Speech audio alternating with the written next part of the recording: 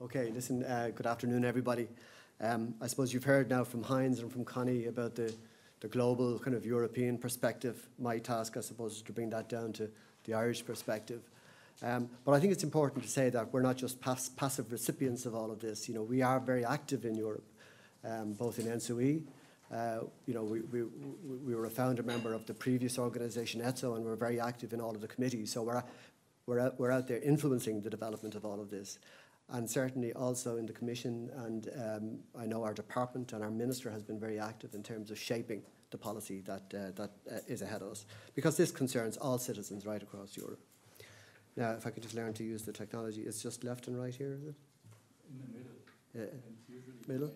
You need to, to Point it. uh, direct it at the And down. There we go. That's great. Okay, maybe just to start off and looking at the status, uh, the current status of renewables on the island. And I suppose here I'm focusing on wind. There's a small amount of hydro, but just on wind. And we have currently connected about 1,480 megawatts. Uh, and I'm talking here about the Republic of Ireland. Obviously, Northern Ireland has over 300 megawatts already connected as well. Um, of that 1479, roughly 50% is connected at distribution level and 50% at transmission level. But it all affects us as system operators because on a day-to-day basis we have to operate a power system with that much uh, variable wind. And I'll talk about the, the challenges that that uh, pre presents uh, to us. And interestingly enough, we had a very interesting day yesterday with you know winds of 130 kilometres per hour up in the north of the country. And uh, so the system was well and truly tested yesterday, and it stood up well, I have to say. Uh, obviously, some wind farms disconnected out because of the high, very high, high wind speeds. But again, the geographical dispersity, even on the small island of Ireland, helped us in terms of kind of managing our way through that. So we did see significant ups and downs during the day, but nothing that we weren't able to handle. Um, in addition to that, we also have contracted and being built out there another just over 1,100 megawatts. So that brings us to about 25, 2600 megawatts of wind that is either in, in commission or being developed. Um, and in Gate 3 then, which is the next phase of connection offers, which we are in the middle of at the moment together ourselves and ESB Networks, we will be issuing a total of 3,900 megawatts of offers. So potentially that brings us to 6,500 megawatts of wind uh, on a system that has an average load of about you know 4,000 by 2020. The peak load is a bit higher than that. Um, so uh, it just shows you, I suppose, the scale of the task that we as system operators have uh, on the island. Uh, basically, we have three main tasks. One is to connect the wind. Two, we have to then uh, develop the grid that gets the wind to market, basically. And three, we have to operate a system with you know, a variable uh, intermittent uh, resource. Uh, and maybe just to put that in perspective, um, and looking ahead to 2020. So the 2020 target on the island now, both in the uh, ROI and also most recently in Northern Ireland, is 40%. So we have a we have an aligned target of 40% renewables by 2020. And you can see there um, what that means for Ireland. We have a small amount of hydro, so wind about 37%. But that picture doesn't really tell the story um, because on the island of Ireland, and I don't want to get too technical now, but some of you will understand this, we have a small, what's called a synchronous system on the island of Ireland, a synchronous system. And uh, I suppose the key uh, ratio then is how our wind, uh, wind which is asynchronous, so uh, the, the, the technology of wind is very different than the conventional power plants on the system. They are asynchronous, working on a synchronous system.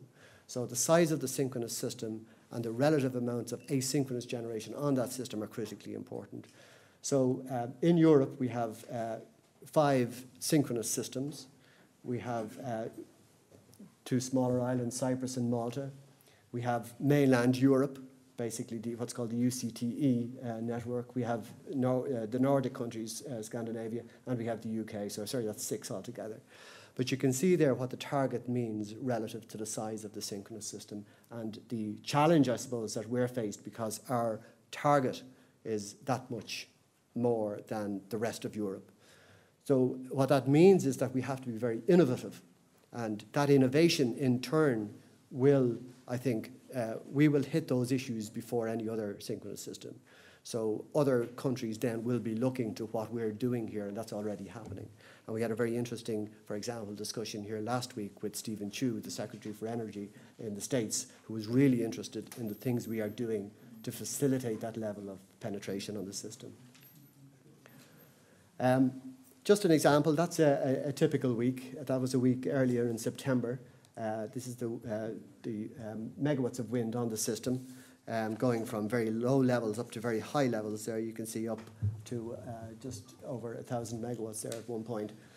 Um, and I suppose what's interesting is when we get to the 40% target, 40% target, we need to have about 4,600 megawatts connected. We currently have about, uh, as I said, 1,500, just less than 1,500. So for 2020, we need three times the amount of wind on the system than we currently have to meet our 40% target. So uh, again, you can picture then what you know that rise would look like if you multiply it by three. Uh, and they're the kind of situations, I suppose, that the control center engineers on a day-to-day basis have to face when they're, when they're looking at that level of variability.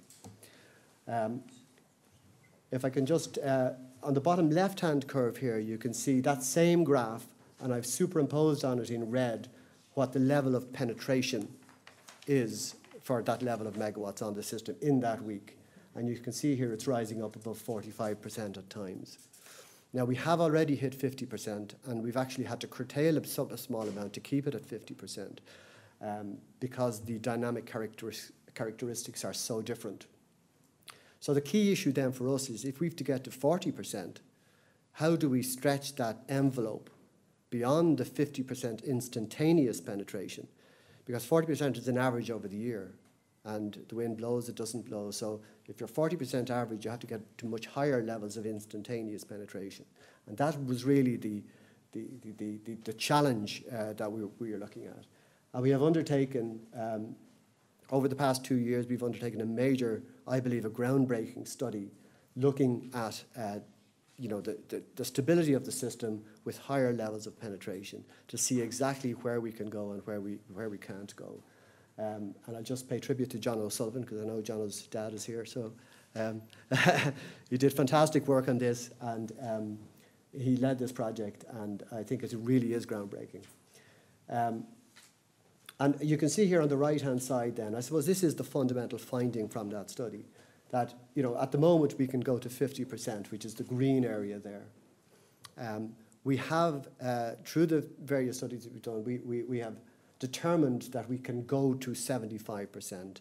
Now, we have a lot of work to do. Uh, we have a lot of work to do with ESB networks in terms of um, protection on distribution connected uh, wind farms and other work. But we, are confident that we'll be able to push that envelope out to, out to about 75%. Beyond that, we haven't figured it out yet. That's, but let's, let's worry about the 75% for the moment. And we are doing a lot of things in terms of, um, uh, in, in, terms of how do we operate this in the system. Uh, so, for example, we have online dispatch of wind farms. The controllers can send a signal directly to a wind farm to get it to kind of shut down or close down or reduce load.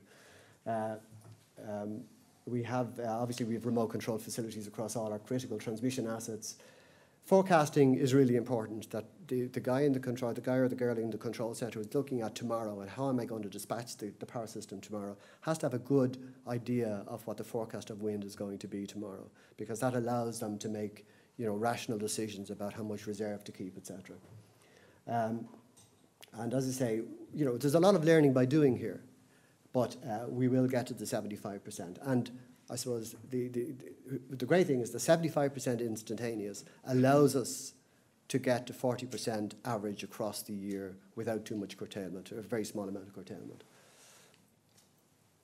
Um, the second, or the third big challenge we have, I suppose, is then to get the wind from where it's generated to market. And, and this is really where Grid 25, uh, which is our grid development strategy, uh, comes in.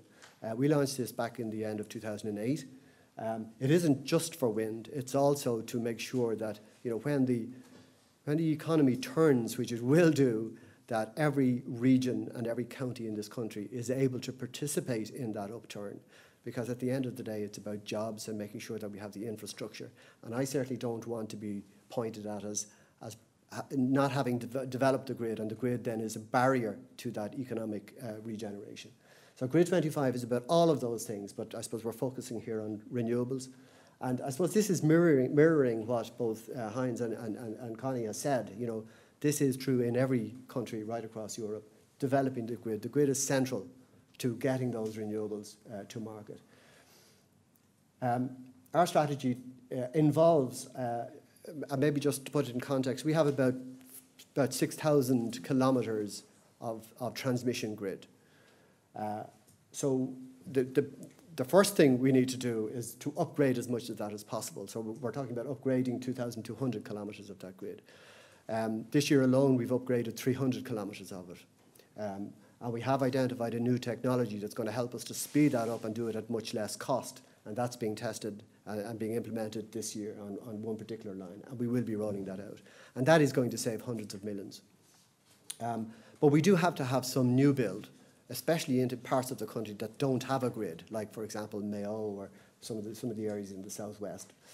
Um, uh, we put a price tag of about 4 billion on it. Um, as I say, it's a strategy at the moment, it's not a plan. We're working, with, the, the, the, the plan uh, is implemented um, through kind of five-year chunks. And I do want to pay, pay tribute to the, the Commission for Energy Regulation in terms of their support for Grid 25.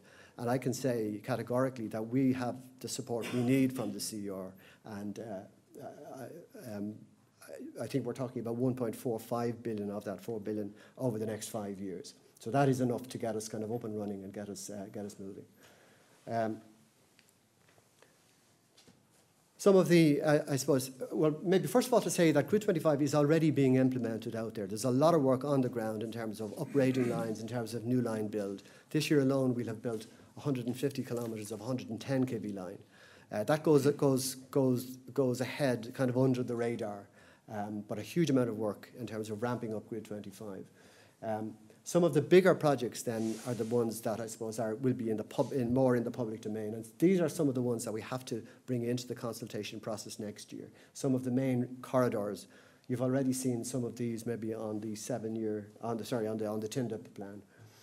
Um, but, uh, and really it's because of where the resource is. The resource is on the west coast, the northwest, and on the southwest, and we have to get that to market. Um, we also then, uh, you know, the, the, the East-West Interconnector, an interconnection, and you've heard Connie and you've heard Heinz talking about the need to integrate Ireland and the rest of Europe uh, to create the single internal market. And um, this is critical for renewables because it provides the, uh, I suppose, the, you know, when, when, when high level of renewables in the system and the load is low, we can export and vice versa. So we already have the Moyle interconnector between Northern Ireland and Scotland. Uh, we are building currently the East-West interconnector. And again, I want to um, pay tribute to uh, the Commission uh, through the Economic Recovery Plan for the 110 million that we have got uh, from as a grant from Europe for this. Um, and I have to say, um, Heinz, that this is critical, that the support is there for this type of of, of investment because you talked about the leverage that it brings, and we have felt that very strongly. We have, on the back of that, we were able to get uh, 50% funding from the European Investment Bank at very competitive rates, and we were also then able to go to the commercial banks for the balance. And uh, the, the, very fact that Europe is there saying this is of European significance gives the credibility to companies like EirGrid to go to the banks, and it gives the banks confidence that this is uh, critically important. so that kind of support, and I'm sorry to hear you didn't have the numbers here with you today on the uh, on the on the, the support, the financial supports, but we will hear them in due course. Um, we are on target for 2012. In, in Wales, we have something like 90% of the ducts in the roads, in, in the 35 kilometres on the roads in Wales. Uh, we are putting the cable, laying the cable into those ducts at the moment. We are working in Ireland here. We're a bit behind because of planning issues here in Ireland, but we are on target for 2012. So that work is ongoing.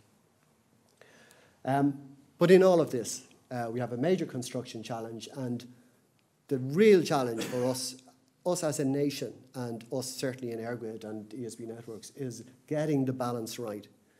And the balance really is between the reliability of the grid that we have, the cost of that and the affordability of it, and the impact that it has on, on communities and on the environment.